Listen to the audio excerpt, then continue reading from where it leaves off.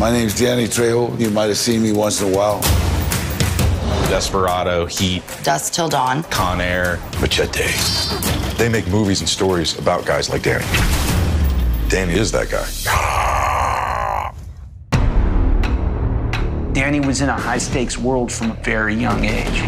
Addicted to heroin since he was 12. He was just a kid caught up in the game. I had a sawed-off shotgun and a hand grenade. I buried him, and I told my mom, "Be real careful in the backyard." This is a guy who's seen death just to get to 16 years old. It's like the Wild West. You're gonna be a criminal. Be a criminal 24 hours a day. Wow. His name rang through every prison. They knew he was coming. They always knew he was coming.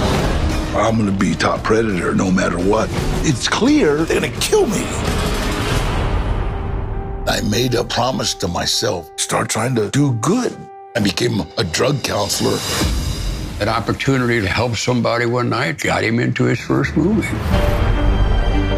My career took off immediately. The first five years, I just played inmate number one. Cholo number one. Essay number one. Number 10. Eddie Bunker, screenwriter, goes, You're Danny Trejo.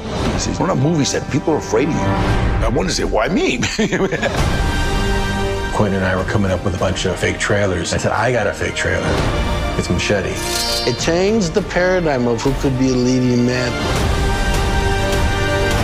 Everything good that has happened to me has happened as a direct result of helping someone else.